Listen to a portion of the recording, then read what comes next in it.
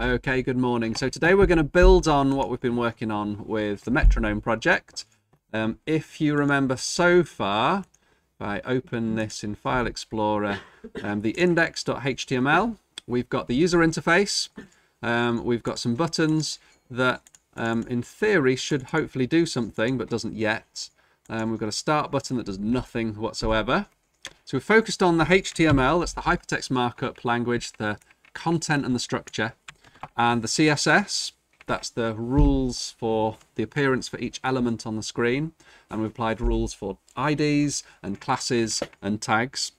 We want to get focused on um, the behavior, the JavaScript. But before we do, if we have a look at the specification and go pretty much all the way to the end, I'm going to search for CSS and it will tell us near the beginning that we need to learn HTML, CSS and JavaScript and then we panic because all of them have got loads of stuff on there and then we find the appendix at the end that reassures us because there's very little we actually need to recognize and use in an exam. So a small subset of tags. Um, the only one we haven't really done yet is a form. We'll come back to that later and we haven't talked about bullet points but they're dead easy. We've done a little bit about CSS. You can do them in line, and remember we said that's a bad idea because it duplicates all the stuff. You've got to put individual rules on every tag. A much better way of doing it would be one rule for every H1, a heading 1, so that all of them can be blue with one line. We can have classes. Remember an element um, can share a class with another element, and that doesn't just have to be the same tag. You can have paragraphs with a class, as well as buttons with a class, as well as heading ones with a class. And you can have IDs, and that's a one-to-one -one relationship. Only one element on the page can have an ID of menu or any other um, thing. So we've got all of these rules that we've talked about. We want to move on to JavaScript.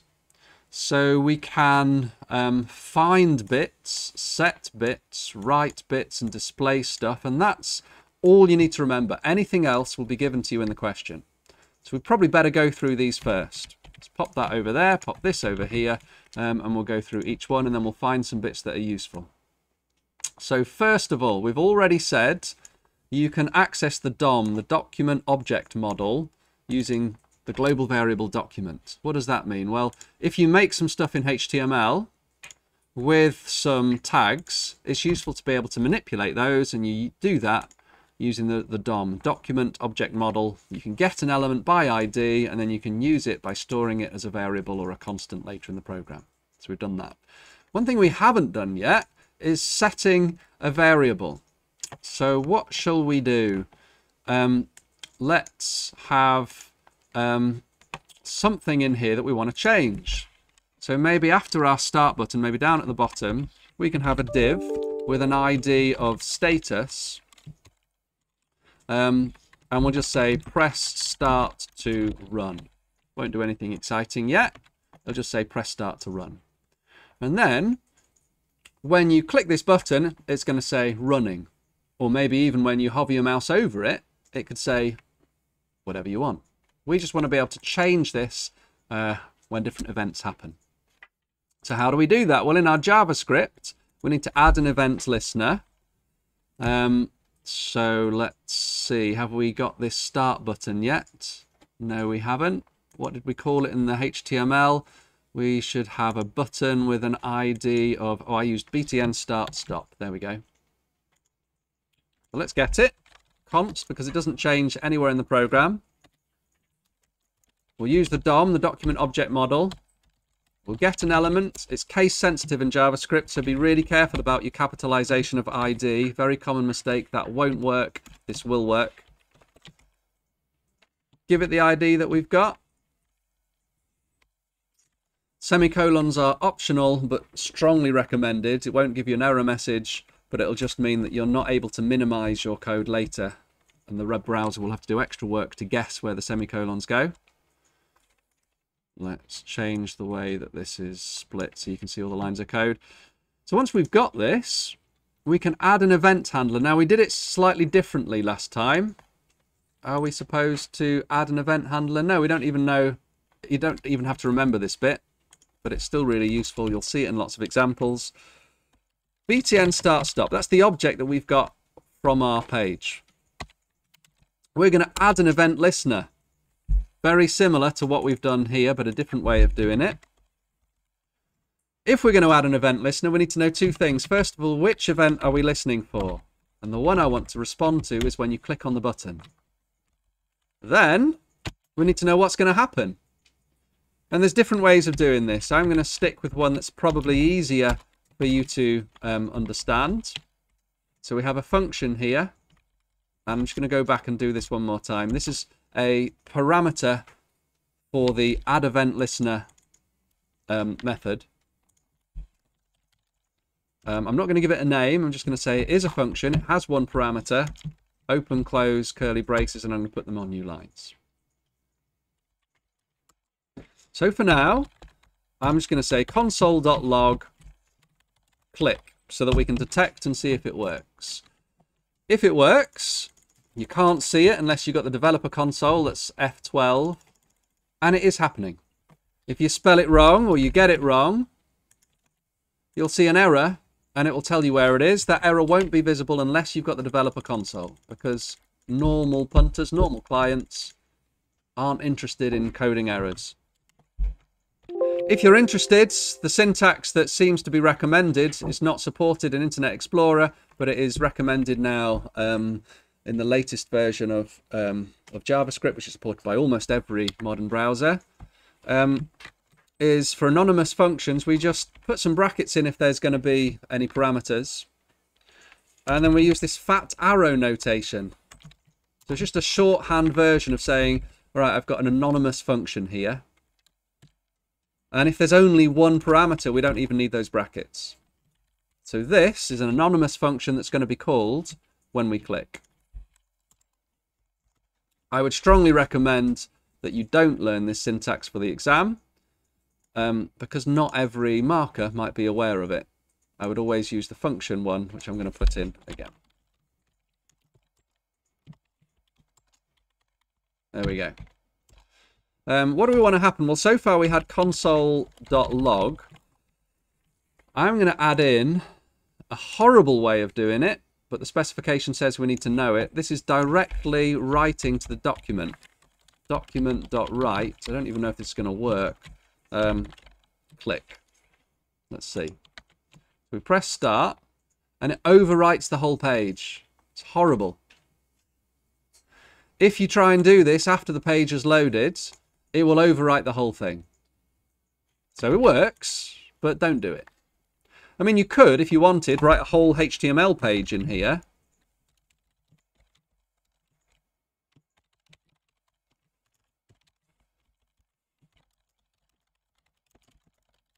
But the user um, usability would be terrible because you've just overwritten the whole page. So don't do that. But I've taught you what it does so you can recognize it and remember. If you want, you can use another thing which is terrible for usability, which is this alert. An alert is what it sounds like. Makes you panic. You've just clicked. And it's called a modal dialog box because you can't do anything on that page until you've serviced this dialog box. And it's a way to really frustrate your users because they can't carry on browsing or scrolling or clicking or anything until they press OK. In the olden days, there was no way around it. Now, if you keep doing it, Chrome will eventually ask you, do you want to avoid um, dialog boxes? Which is basically shorthand for saying this developer doesn't really know what they're doing, or this is a very early development model. So this works, it's easy, it's good for debugging, better for debugging is the console.log because it's unoffensive. You can put whatever you want in here and you'll only ever see it if you've got the developer toolbar. You don't need console.log. You can have console.error if you want, which doesn't crash. It just gives you something in red, which you can filter out if you want. Or you can have a console.warning. But by far and away, the one that you see most is console. Oh no, console.warning isn't. Don't know what it is. Sorry. Just use console.log if you want debugging things. And it tells you which part of the code um, displayed it. And you can even click on it and Google Chrome has some fantastic debugging tools to help you. Right, we don't want that. I wanted instead to overwrite this bit. So how do we do that? Well, first we've got to gain access to that object. So we can do um, document.get element by ID. What is it? We need to identify it. I think that ID, that div had an ID of status. Lovely. So I can pop that in there. In the past, I've saved that as a constant so I can use it later, but you can use what's called chaining. If this is a method that returns a document object that we can use, then we can just do full stop to access it. And then we can do the last thing that we need to be aware of in here, which is anything on your page dot inner HTML dot inner HTML equals um, started. There we go. So this time, rather than overwriting the whole page, it just overwrites one particular part of the page, which is much, much better. Little bit of an investigation while I pause the video. You've got inner HTML and inner text, which both seem to do the same thing. What's the difference? You investigate, find out. We've had a really good question. What on earth is this E? The E is an argument um, which is passed as a parameter to the click event handler, which sounds horribly technical. To show you, I'm going to do console.log e, and then when I refresh the page and click on the console, that event gets passed down here. And notice you you, you can send messages, but you can also send more complex data types and see them all down here. So this is details about the event that's just happened. So you can find out where the mouse pointer was when they clicked. You can find out um, whether the shift button was pressed. You can find out everything you'd need to know and more about that click event. The question was, what's the difference between inner HTML and inner text? And the answer has been given correctly that inner text doesn't support HTML. For example, if I put H1 in here, and don't click me, and run it, then you'll see literally those um, angular brackets. If you do inner HTML and do the same thing, then it will interpret it as HTML. And sometimes you want one and sometimes you want the other. So it's just being aware of the difference between the two. We don't want it to say don't click on me. Um, we want to give some kind of indication of whether it's running or not running. So a bit more important than that, let's change the button. So instead of saying start, let's make it say stop. So I don't really want that status thing anymore. That was just to show you it's possible. After all that effort that you did doing that. Gutted, sorry. This time, I want to change the text inside the button. Already got a constant that allows me to access it. But we've got to be careful here. It's not going to be inner HTML because the start is not inside the tag. It's not like you have this where the text is here. Instead, it's an attribute. So it's a lot easier for us, actually. We can just say the value is stop. Let's see if that works. I press start and it's changed it to stop. Lovely. So what I want is something that I can toggle. So I can keep track of whether or not it's running, and whenever I press start or stop, it gives us the opposite. So we need a boolean. I'm going to call it running, and we'll set it to false at the beginning. In our event handler, we can say, just like in C Sharp, running is equal to the opposite of what it currently is. And then, rather than always setting it to stop, we can say, and we've got the same shorthand syntax here, we can say, is it running? Question mark, yes or no. Right, you tell me what goes in here. So yeah, well done. This is a Boolean expression using this Boolean variable. And we're saying if this is true, as in running is currently true, it is running, then the button changes to stop. If running is currently false, that means the metronome is not running. We want the option to be able to start it. So well done, good logic. Doesn't actually do anything yet, but it looks more promising. And we're getting there. So far, all we've got is something that will let us set something and buttons that don't do anything. But hopefully you know enough now to um, display the BPM whenever you press start. um, we know what it is. Let's remind ourselves how far we got before. We have got a variable for the beats per minute, and we are actually changing it when we press the decrease button, but it's not updating this thing here. So what I'm going to do is make a function. This time I don't want it to be anonymous. I want it to have a name. So can I call it update BPM? And I want to change the value here to whatever the variable is. So I think, yeah, I've got a constant called BPM input. Lovely. BPM input dot value is equal to BPM. We've got an error. No, not yet. When I press the button, it looks like nothing's happening. In fact, it is decreasing the value of the variable, but we don't see it. Let's see if it works. Console.log BPM, first of all. Mm, yeah, that doesn't look like it's happening either. Oh, it's because I'm pressing the wrong blooming button. Sorry. Let's press that one. There we go. It is going down. The variable's changing, but the variable is not being updated in this box because we haven't told it to. So, let's call our function exactly the same kind of syntax as we're used to. We have a function, we give the function a name, the function can have parameters, the function does something. The only difference is there is no um, syntax for a procedure.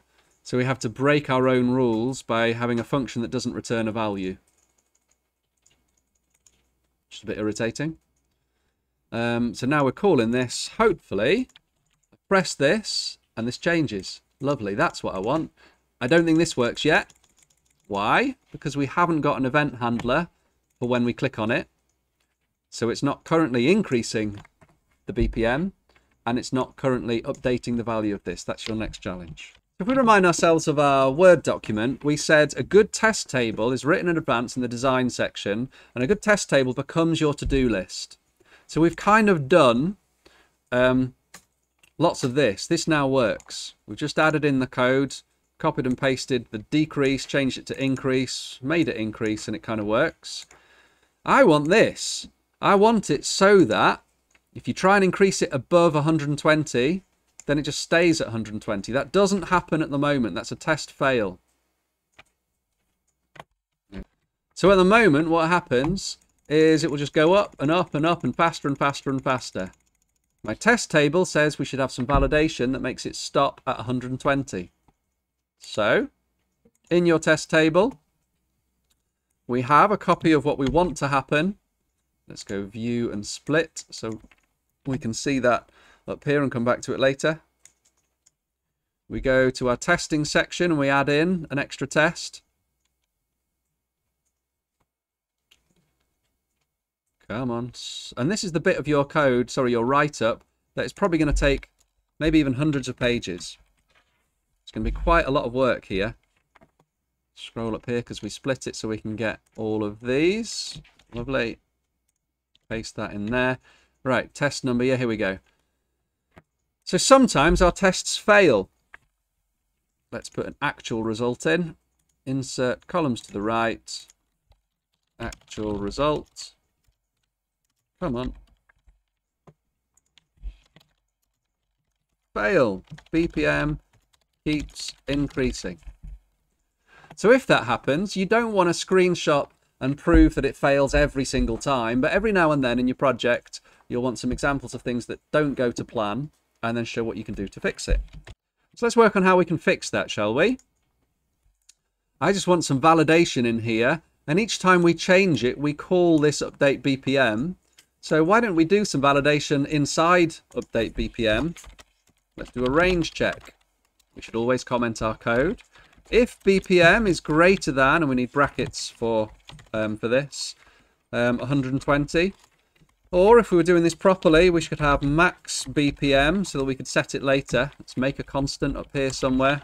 Const max BPM equals 120 because you might actually want to go higher than that at some point.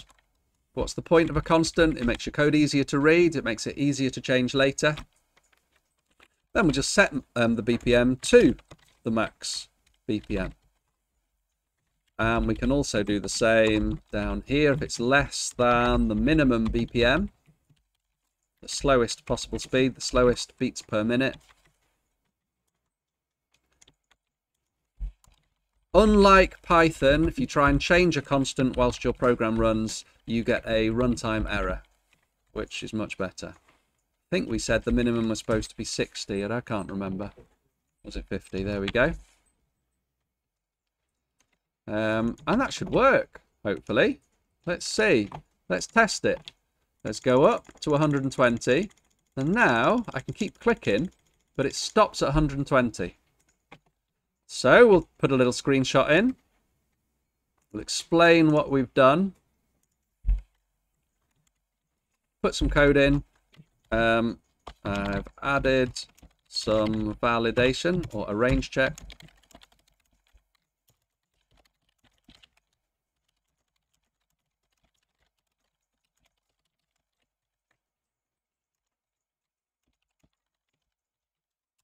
Okay, so whenever you prove that you've passed a test,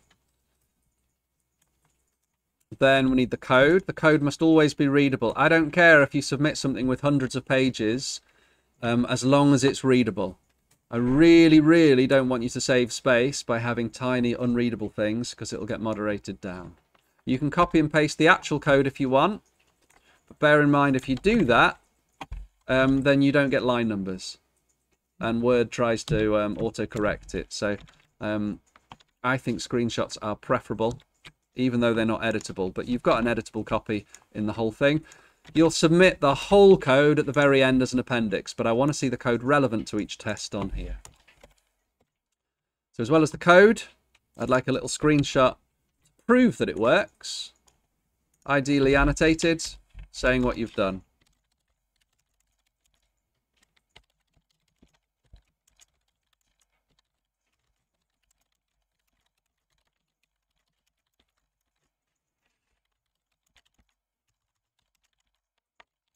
So if we have a look at our test table, and I shouldn't have stopped splitting it, sorry. Um, I think the next test was, um, you know, what happens if you manually set it to 119 and then you try and increase it? I'm pretty sure as we've coded it, that'll work. So we've just done test 8. Maybe you can try and do test 9, test 10. Oh no, it's just test 9. Here we go. What am I talking about? Oh dear, look. Terrible. 89789. That's no good. Oops. My test numbers are all messed up. But you get the idea. This is why sometimes it's helpful to have a better numbering convention for your tests. And you go for, like, if it's success criteria 8, you might go for um, 8A, 8B, 8C. Because if you want to add extra ones in later, it becomes much easier rather than renumbering everything. But I'll leave that for you to decide. So let's move on. We want something to happen when you press start, and it should happen again and again and again. So we need to do our actual uh, main algorithm, I guess, to work out um, how to schedule something that will happen at some point in the future. Right, where's the bit that happens when we start it. Here we go. We're pressing the button. We'll probably want something in here that says if running, then um, what do we want to happen? Well, we've got set timeout, which will happen once, or set interval, which will happen lots. Let's start with set timeout because it's a bit easier. And we'll say what's going to happen. Um, let's say on tick. And we're going to do it every second to begin with to keep it really simple. What on earth is on tick? Well, we're going to make a function called on tick. And just a console.log tick. World's worst metronome where you have to um, be a developer to show the developer console. Um, and it only works at 60 beats per minute, which is every second. And it only ticks once. Terrible. Instead of set timeout, which happens once, let's do set interval. Oh, if you spell interval correctly which will do the same, but it will keep um, requesting a callback every however many milliseconds until you cancel it. Beware, because if you press it multiple times, we'll end up with lots of callbacks, all requesting to be called every second, to the point where all of them are calling back. So that's a problem. Problem we probably won't even have time to fix today. Um, so we want to calculate the correct amount for BPM. So let's work it out. Let's say var milliseconds. And this is the only algorithm we've got. What did we say in our Word document? Well, we said it's the beats per minute. And then you can put in your calculation from your Word document. So there we go. We've got our beats per minute divided by 60,000 for minutes and um, then into, sorry, put into seconds, then milliseconds. And then we've got to use the correct value in here. So in theory, hmm, that doesn't look right. This looks much better. 60,000 divided by BPM. Jolly good. Right, so that should be once every second. And then if we refresh the page and type 120, it should be twice as fast. Better. Now, it doesn't update it when we press the buttons. It still goes at the same speed. So we need to store something that will let us change this later. So let's have our callback and set it to undefined. It's not set to anything at all. But whenever we do this, we can say the callback will store the thing that will let us cancel this. Um, and we'll cancel any previous one. So clear interval. Doesn't matter if you pass in something that's undefined just so that we can't have multiple ones, that error that we were displaying um, earlier. So let's see, if I run it multiple times, we should only ever get one thing happening. This algorithm is rather useful, really. Um, so I'm going to cut it and just say update uh, metronome. Or maybe, hmm, I don't know, I don't want to have it every time. I don't want to have it the same as here because we shouldn't make it run if it's stopped and we press a button. Let's, I don't know, give it a name. Function change speed while running. Give it a name that you think is sensible. Or set speed and start. Something like that.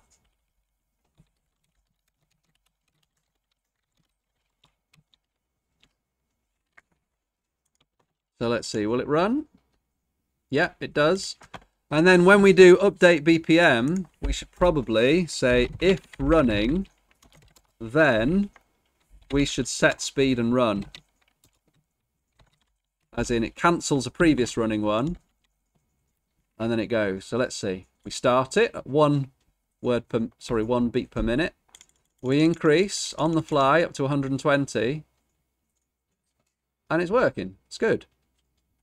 For now, for testing purposes, let's bump up the maximum BPM to 520.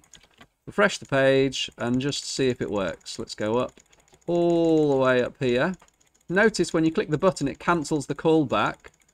So as long as you click the button again fast, you're not going to see a tick. But as soon as you stop clicking, the tick's going to happen. So you probably don't really want that to happen. You could change it to make it a bit different. But it does look to me like this is working. Which is exciting. We're pretty much there now. All you want to do now is give some visual indication on the screen, maybe some lights going on and off, um, and then making something tick.